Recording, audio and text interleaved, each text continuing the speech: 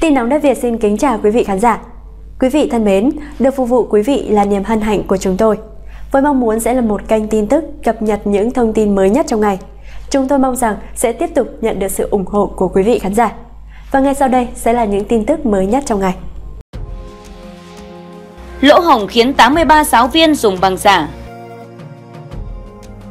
Khả năng đã có mầm bệnh trong cộng đồng. Hà Nội dừng các hoạt động lễ hội phố đi bộ. Việt Nam đã hồi hương gần 1.000 công dân từ Ấn Độ.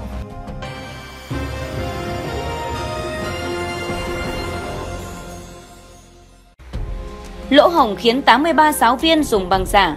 Kính thưa quý vị, quy định không bắt buộc xác minh tính pháp lý của văn bằng, chứng chỉ là lỗ hổng khiến 83 giáo viên dùng giấy tờ giả xin dạy lái xe ở 5 trung tâm. Năm cơ sở đào tạo vừa bị Tổng cục Đường bộ Việt Nam, Bộ Giao thông Vận tải công bố sai phạm là Trung tâm dạy nghề lái xe Tiến Phát, Trung tâm dạy nghề lái xe Hiệp Phát, Trường dạy nghề tư thục lái xe Thế giới, Trường dạy nghề tư thục lái xe Sài Gòn, Trường dạy lái xe Thống Nhất. Có 29 giáo viên dùng văn bằng giả, bà Phạm Thị Ngọc Thi, hiệu phó trường dạy lái xe thống nhất, năm cơ sở tại quận 5 và 10 cho biết, do nhu cầu người học tăng cao nên trường tuyển giáo viên dạy thực hành. Theo quy định tại Điều 9 Nghị định 65-2016 của Chính phủ, trường yêu cầu người ứng tuyển nộp bằng tốt nghiệp trung cấp, chứng chỉ sư phạm, bản photo có công chứng. Sau đó, trường gửi hồ sơ qua Sở Giao thông Vận tải Thành phố Hồ Chí Minh để các ứng viên dự chương trình tập huấn và được cấp giấy chứng nhận giáo viên dạy thực hành.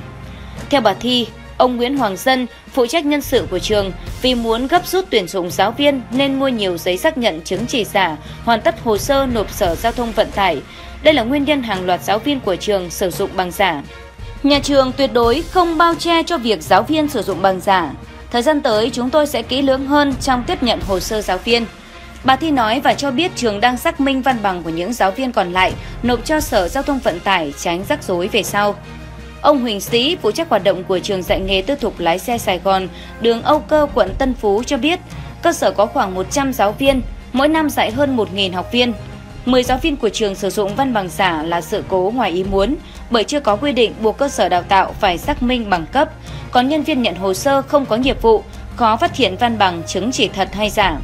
Qua sự việc này, ông Sĩ nói, khi tuyển dụng giáo viên, chúng tôi sẽ gửi văn bản tới cơ sở đào tạo cấp chứng chỉ, văn bằng đề nghị xác nhận ứng viên có học ở đó hay không. Việc này đảm bảo chất lượng dạy và học ở trung tâm.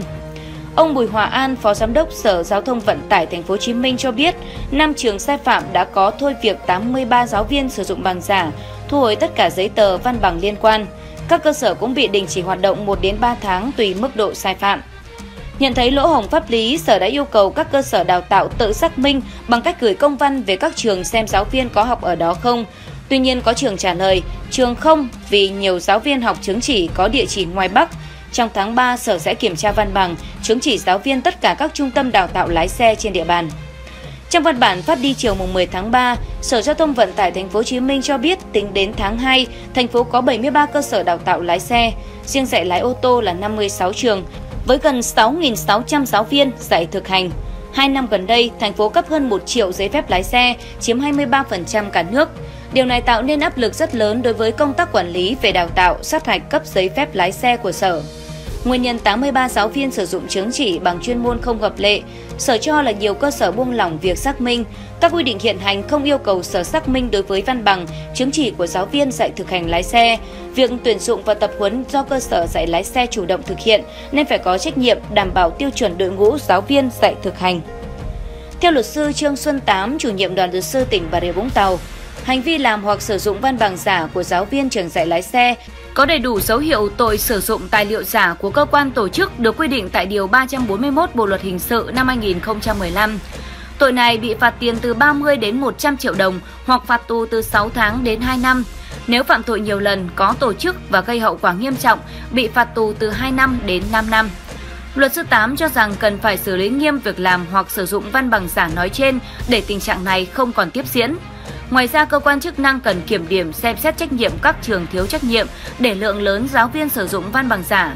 Tổng cục Đường bộ Việt Nam đã yêu cầu Sở Giao thông Vận tải chấn chỉnh công tác quản lý đào tạo, cấp giấy phép đối với các trung tâm dạy lái xe. Riêng sai phạm của những cơ sở này được chuyển cho Công an thành phố Hồ Chí Minh điều tra xử lý. khả năng đã có mầm bệnh trong cộng đồng. Kính thưa quý vị, Ban chỉ đạo quốc gia về phòng chống dịch nhận định trong điều kiện hiện nay, khi Việt Nam tiếp tục đón chuyên gia và công dân về nước, mầm bệnh có khả năng đã có trong cộng đồng, không chỉ tập trung ở khu vực Tây Nam. Theo các thành viên ban chỉ đạo, phải tiếp tục có biện pháp ngăn chặn dịch từ bên trong, kiên trì nguyên tắc ngăn chặn, phát hiện, cách ly, khoanh vùng và dập dịch. Phó Thủ tướng Vũ Đức Đam giao Bộ Thông tin và Truyền thông có những hỗ trợ cần thiết để tăng cường ứng dụng công nghệ thông tin phục vụ công tác kiểm soát xuất nhập cảnh ở khu vực biên giới và ở các địa phương có vùng biên. Thiếu tướng Nguyễn Xuân Kiên, Cục trưởng Cục Quân y Bộ Quốc phòng cho biết, theo yêu cầu của Bộ trưởng Bộ Quốc phòng, sáng 27 tháng 4, các đơn vị gồm Biên phòng, Hải quân, Cảnh sát biển, Quân y họp về việc triển khai đồng bộ các biện pháp chống dịch xâm nhập. Bộ Quốc phòng kết luận khu vực biên giới Tây Nam hiện là trọng điểm, biên giới với Lào cũng có nguy cơ cao. Tại biên giới với Campuchia, Bộ Quốc phòng tăng cường nhân lực và giao lực lượng biên phòng chủ trì. Theo đó, mỗi tổ chốt được tăng thêm các chốt vệ tinh, với vùng nước chung gồm hai khu vực giữa Việt Nam và Indonesia và giữa Việt Nam với Campuchia. Ngoài số tàu của lực lượng biên phòng, tại khu vực phao số 0 sẽ tăng cường lực lượng hải quân. Ban chỉ đạo cũng đề nghị Bộ Y tế báo cáo Chính phủ, Thủ tướng Chính phủ để có sự điều hành thống nhất khi các địa phương chủ động thực hiện giãn cách xã hội, cách ly địa bàn để phòng chống dịch. Theo tinh thần, khi cách ly các khu vực giáp danh liên tỉnh thì phải có sự thống nhất giữa các địa phương liên quan. Trong trường hợp giãn cách toàn tỉnh, phải có trao đổi với các tỉnh lân cận và phải báo cáo Thủ tướng. Hà Nội dừng các hoạt động lễ hội, phố đi bộ. Kính thưa quý vị, Thành ủy Hà Nội yêu cầu kích hoạt toàn bộ hệ thống phòng chống dịch, đảm bảo tuyệt đối an toàn dịp nghỉ lễ và các hoạt động bầu cử. Trước diễn biến phức tạp của dịch, Thường trực Thành ủy Hà Nội đã yêu cầu các đơn vị liên quan tăng cường công tác phòng chống dịch trên địa bàn thành phố, tạm dừng tổ chức các lễ hội và các tuyến phố đi bộ trên địa bàn thành phố, tiếp tục hạn chế các sự kiện, hoạt động tập trung đông người không cần thiết. Lãnh đạo Hà Nội yêu cầu và nêu rõ trong trường hợp tổ chức hội nghị, sự kiện cần có hình thức phù hợp, đồng thời phải thực hiện nghiêm các biện pháp phòng chống dịch. Trong trường hợp phát hiện ca bệnh, các cơ quan chức năng cần áp dụng ngay biện pháp khoanh vùng, truy vết cách ly, không để dịch bệnh lây lan trên diện rộng. Tuy nhiên, Thành ủy Hà Nội cũng yêu cầu việc áp dụng các biện pháp cách ly, phong tỏa, giãn cách xã hội không vượt quá quy mô cần thiết và hạn chế tác động bất lợi đến các hoạt động sản xuất, kinh doanh và đời sống nhân dân. Hà Nội đã qua 71 ngày không có ca mắc mới ngoài cộng đồng.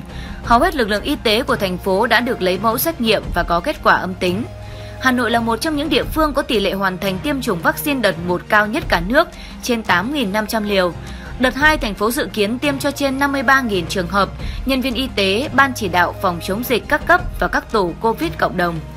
Tại Quảng Ninh, lãnh đạo tỉnh quyết định giảm quy mô tổ chức các sự kiện dịp 30 tháng 4, dừng bắn pháo hoa từ mùng 1 tháng 5 đến 23 tháng 5, dừng tổ chức các sự kiện lễ hội kích cầu du lịch để đảm bảo an toàn cho bầu cử Quốc hội và Hội đồng Nhân dân. Ngoại trừ sự kiện kỷ niệm 60 năm Bắc Hồ ra thăm đảo Cô Tô được tổ chức ở quy mô vừa phải gắn với an toàn phòng chống dịch. Bí thư tỉnh ủy Nguyễn Xuân Ký yêu cầu 100% người đứng đầu các sở ngành địa phương phải có mặt trong dịp nghỉ lễ để ứng phó với mọi tình huống dịch bệnh trên địa bàn. Việt Nam đã hồi hương gần 1.000 công dân từ Ấn Độ. Kính thưa quý vị, Việt Nam đã hồi hương gần 1.000 công dân từ Ấn Độ và sẵn sàng hỗ trợ khoảng 100 người còn ở lại, người phát ngôn Bộ Ngoại giao cho biết. Người phát ngôn Bộ Ngoại giao Lê Thị Thu Hằng cho biết trong thông cáo, Việt Nam thời gian qua đã phối hợp với Ấn Độ tổ chức các chuyến bay đưa gần 1.000 công dân về nước an toàn. Hiện còn khoảng 100 người Việt Nam đang ở lại Ấn Độ.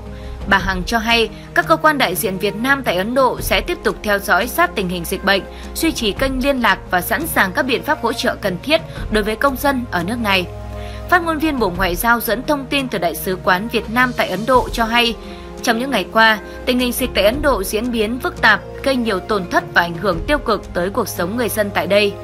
Bà Hằng khẳng định Việt Nam luôn quan tâm tới tình hình dịch tại Ấn Độ, sẵn sàng chia sẻ, hỗ trợ chính phủ và người dân Ấn Độ trong lúc khó khăn và tin tưởng Ấn Độ sẽ sớm kiểm soát được dịch bệnh. Trong trường hợp cần trợ giúp hoặc có thông tin về người Việt Nam gặp khó khăn, công dân có thể liên hệ theo số điện thoại đường dây nóng bảo hộ công dân của Đại sứ quán Việt Nam tại Ấn Độ. Ấn Độ đang vật lộn với làn sóng dịch thứ hai với hơn 300.000 ca nhiễm mới mỗi ngày trong những ngày qua. Hệ thống y tế quá tải vì thiếu oxy và giường bệnh. Quốc gia này là vùng dịch lớn thứ hai thế giới với hơn 17,3 triệu ca nhiễm và hơn 195.000 ca tử vong.